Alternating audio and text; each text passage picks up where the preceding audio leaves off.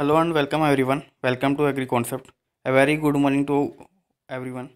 So, today this session, we will discuss about secondary tillage implements और इससे पहले हमने तीन सेशन कवर कर चुके हैं इन इम्प्लीमेंट्स भी जिसके अंदर हमने प्राइमरी जो हमारे इम्प्लीमेंट्स है, वो भी कवर कर लिए सेकेंडरी इम्प्लीमेंट्स भी कुछ कवर कर लिए और जो बाकी रिमेनिंग है, वो आज के सेशन में कंप्लीट हो जाएँगे तो इसके अंदर आज से अपन शुरू करने वाले बंड फॉर्मर है, उसके बारे में देखेंगे इसके क्या क्या फ़ंक्शंस है और किस तरीके से इसको डिज़ाइन किया जा, किया गया है तो वो सब चीज़ें देखेंगे और जो क्वेश्चन यहाँ से बनते हैं, उनके सब के बारे में यहाँ से बात करेंगे। तो चैनल पे नए हैं तो चलिए प्लीज़ चैनल को सब्सक्राइब कर ले, साथ में बेल आइकॉन को प्रेस कर ले, ताकि आए जाने वाले जितने भी वीडियोस है, आपको उनका नोटिफिकेशन मिलता रहेगा। और इस सेशन की पीडीएफ आपको हमारे टेलीग्राम चैनल पर मिल जाएगी, उसको ज्वाइन करने के लिए लिंक डिस्क्रिप्शन में है, वहाँ से आप ज्वाइन कर लीजिए टेलीग्राम चैनल वहाँ पर आपको ये पीडीएफ उसके साथ साथ डेली बेसिस पे जो क्यूज हो रहे हैं, वो भी एक्सेस करने को मिल जाएँगे।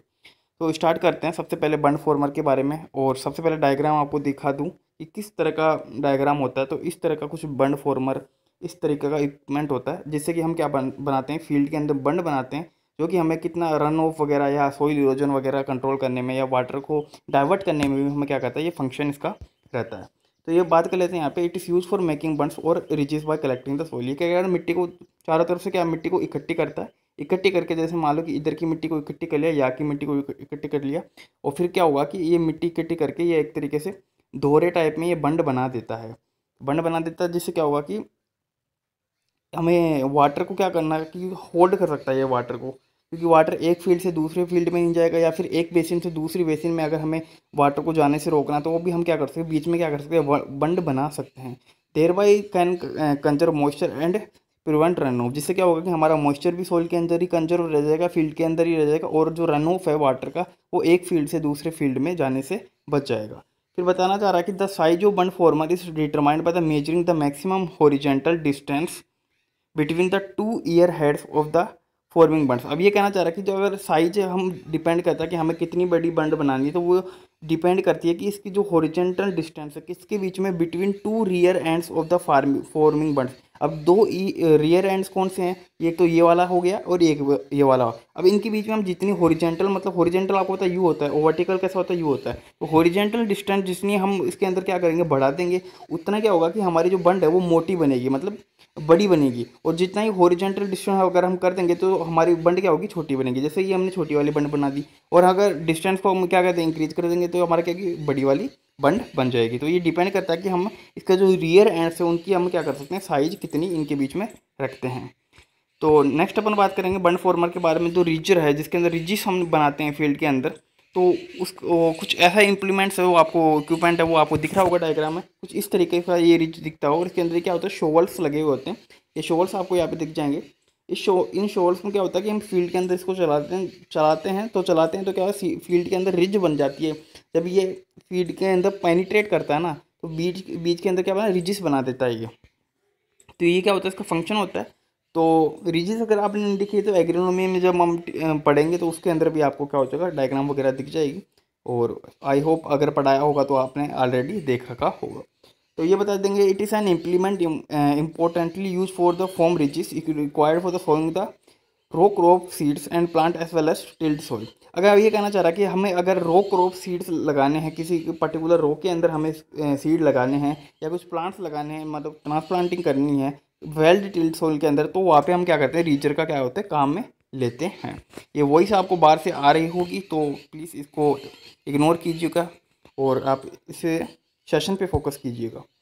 और इसके लिए मैं माफ़ी चाहूँगा वॉइस जो आ रही है, वो नेचुरल वॉइस को हम कंट्रोल भी नहीं कर सकते। फिर आगे आगे की बात करते हैं ridger is also use for forming field और channels earthing up and similar other operation तो ये कहना चाह रहा है कि रीजर हम और क्या फ़ंक्शन होते हैं? इसके जो और फ़ंक्शन होते हैं, वो क्या होते हैं? जो हम क्या करते हैं? इसके अंदर फ़ील्ड के अंदर कुछ चैनल्स बना सकते हैं अर्थिंग अप कर सकते हैं। जैसे अर्थिंग अप मतलब कि जैसे हम सुगर कैन में करते हैं या फिर पोटेटो में करते हैं या कई बार ग्राउंडनट में करते हैं, जिससे कि क्या होगा कि जो हमारे, जो क्रॉप क्रॉप होती है, उसके अंदर जो, उसकी अर्ली स्टेज होती है, उसके अंदर हम क्या मिट्टी चढ़ाते हैं उसके ऊपर, क्योंकि उसको क्या होगा डायरेक्ट कॉन्टेंट सनलाइट के कॉन्टेक्ट में वो नहीं आएगा। उसको अच्छी जो है ना वेल रूटेड रूट अच्छी तरीके से उसकी क्रॉप की स्टेब्लिश हो जाएगी। उसके लिए हम क्या करते हैं अर्थिंग अप करते हैं। तो उसके लिए भी हम क्या करते हैं रीचर का यूज़ कर सकते हैं और कुछ अदर ऑपरेशन भी अगर हमें फ़ील्ड के अंदर करना है, जैसे वीड वगैरह को रिमूव करना है डीप रूटेड है कुछ तो उसमें भी एक बार के लिए इसको यूज़ कर सकते हैं। फिर ये कहना चाह रहा है कि ridger is also known as ridging plough अब रीजर को हम जो दूसरा नाम है, उसको अपन क्या बोल सकते हैं? रिजिंग प्लाउ भी इसको क्या बोल सकते हैं? अपन कह सकते हैं। फिर लेवलर की बात कर लेंगे लेवलर का डायग्राम भी आपको दिखा होगा, कुछ इस तरह का लेवलर होता है। जिससे कि अपन क्या करते हैं फ़ील्ड को लेवल करने में काम में आता है।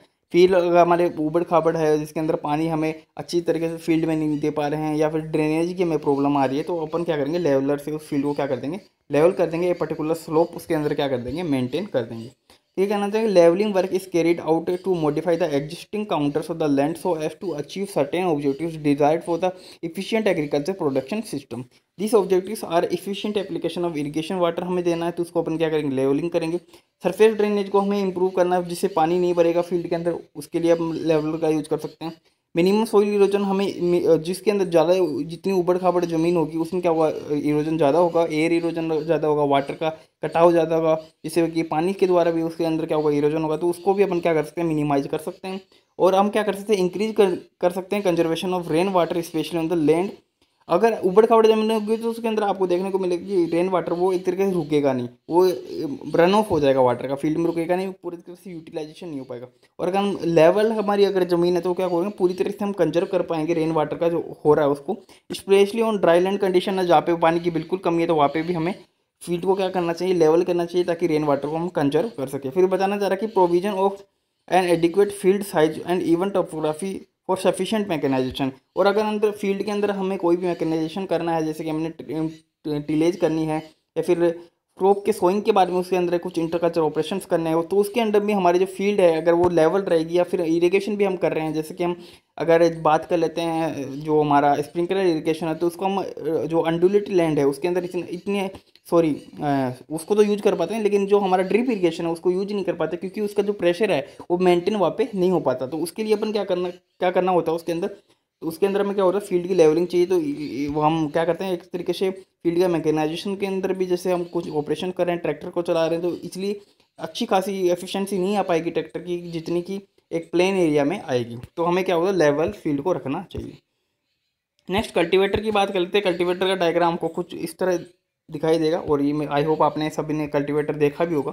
तो कल्टीवेटर के फ़ंक्शंस की बात कर लेते हैं।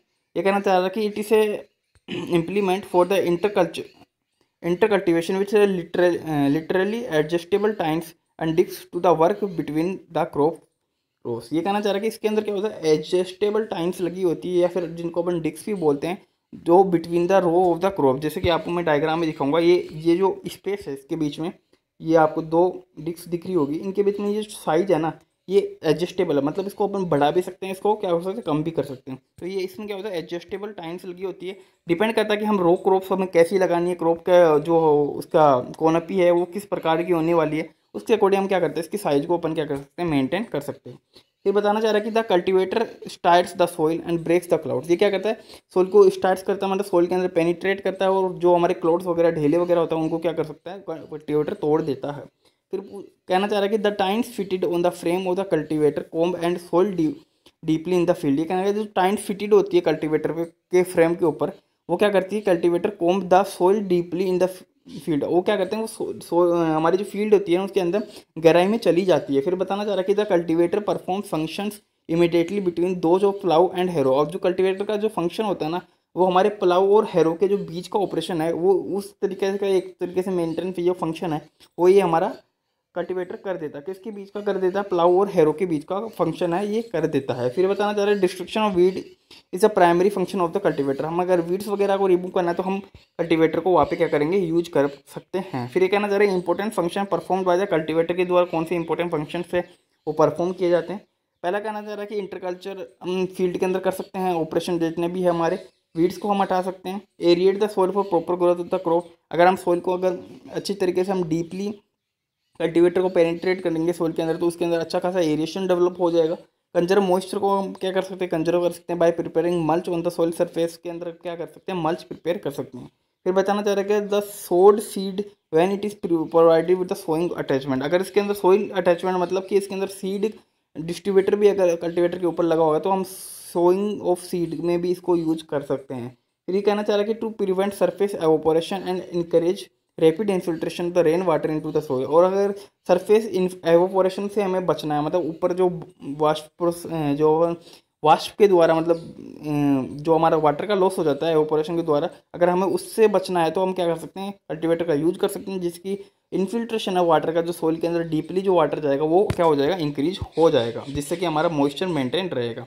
अब ये कहना चाह रहा है कि ट्रेल्ड टाइप कल्टीवेटर होते हैं, कुछ जिसको अपन क्या करते हैं, घसीट के चलाते हैं ट्रैक्टर के पीछे माउंट कर लेते हैं, फिर उसको क्या करते हैं। ट्रेल्ड करते हैं तो it consist of main frame which carries a number of cross members which tines which tines are fitted ये कहना चाह रहा है कि कुछ फ्रेम्स लगे होते हैं, और इसके अंदर कुछ मेम कुछ नंबर ऑफ़ मेंबर्स होते हैं और विच आर क्रॉस मेंबर्स होते हैं विच टाइम्स आर फिटेड जिसमें क्या होता है टाइम्स लगी हुई होती है। At the forward end the cultivator there is a hitch arrangement and hitching purpose अब ये कहना चाहिए कि जो फॉरवर्ड एंड होता है कल्टिवेटर का देर से हिच अरेंजमेंट होता है और फॉर हिचिंग पर्पज़ के लिए। जैसे कि ये आपको हिच अरेंजमेंट मैं बताऊँ, ये वाला जो है, ये हिच अरेंजमेंट है इसके अंदर, जिससे कि हमें क्या होगा, ये सारों को, जितना भी कल्टिवेटर उसका एक कॉमन पॉइंट पे एंड है, इसको अपन क्या करेंगे, इसको फिट करेंगे ट्रैक्टर से, फिर इसको क्या करेंगे माउंटेड अपन क्या करेंगे ट्रैक्टर के साथ माउंटेड करेंगे ट्रेल्ड करेंगे सॉरी फिर ये बताना चाह रहा है कि a pair of wheel are provided in the cultivator कई बार क्या होता है कि कल्टीवेटर में पेयर ऑफ़ व्हील भी लगा हुआ रहता है, जिसके अपन क्या करेंगे, उसको ट्रेल्ड करेंगे ना तो उसमें हमें क्या होगा, ज़्यादा दिक्कत नहीं आने वाली है। फिर माउंटेड कल्टीवेटर की बात कर लेते हैं, यहाँ पे माउंटेड टाइप का होता है, जो tractor fitted with hydraulic lift इसके अंदर क्या होता है हाइड्रोलिफ्ट लिफ्ट के द्वारा ट्रैक्टर को माउंटेड कल्टीवेटर के द्वारा क्या होता है फिटेड किया जाता है operated the mounted type cultivator फिर बताना चाह रहा है कि ये rectangular frame of angle iron is mounted to the three point hydraulic linkage of the tractor. The cross member carry the tines in the two segregated lines. Depending upon the type of soil, the cross soils are chosen for the use of cultivator. तो ये कुछ इस प्रकार का diagram है जो आपको हमारे माउंटेड जो हमारा कल्टीवेटर है या जो भी इक्विपमेंट है वो उसमें आपको ऐसा डायग्राम देखने को मिलेगा फिर कंक्लूजन की बात कर लेते हैं फाइनली जो हमारे टिलेज इम्प्लीमेंट्स हैं इनको हम क्यों यूज़ करते हैं फ़ील्ड के अंदर, इनका क्या फ़ंक्शन है, उनको देखेंगे। The implement of the tillage is more essential and useful for the cultivation the implements are use for the final operation like breaking clods and working the soil to a fine tilth in the preparation of the seed bed cultivators is also known as tiller और tooth harrow it is use for the further loosen and previously ploughed land before sowing ये कहना चाह रहा है कि हमारे जितने भी इम्प्लीमेंट्स है जो विलेज इम्प्लीमेंट्स हम चाहे प्राइमरी की बात करें, चाहे सेकेंडरी की बात करें तो ये हमारे सोल को, हमारे अच्छी खासी टिल्ट बनाने के लिए काम आता है क्रॉप को सोइंग करने के लिए काम आता है इंटरकल्चर ऑपरेशन करने के लिए काम आते हैं। फर्दर अगर इसके अंदर वीड हो जाती है या फिर हमारे इंस्टेक्ट वगैरह को इनका इन्फेस्टेशन ज़्यादा होता है, इंसेक्ट का, पेस्ट का तो उसमें भी हम क्या कर सकते हैं जो हमारे इम्प्लीमेंट्स इनको यूज़ करते हैं, वाटर इन्फिल्ट्रेशन बढ़ाना है, सोइल को लेवल करना है, ये सारे जितने भी फ़ंक्शन है ये हमारे प्राइमरी और सेकेंडरी जो टिलेज इम्प्लीमेंट्स है, इनका फ़ंक्शन होता है। तो इसीलिए हम इनको क्या करते हैं, फ़ील्ड में डेली बेसिस पे यूज़ करते हैं एज़ पर एज रिक्वायरमेंट तो इसी के साथ इस सेशन को एंड करेंगे। चैनल पर नए हैं तो चैनल को सब्सक्राइब कर ले। साथ में बेल आइकॉन को प्रेस करें। आने वाले जितने भी वीडियो है आपको उसका क्या होगा?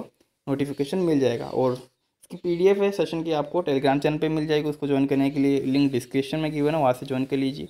और इसी के साथ सेशन को ऐड करेंगे। जय हिंद, जय भारत।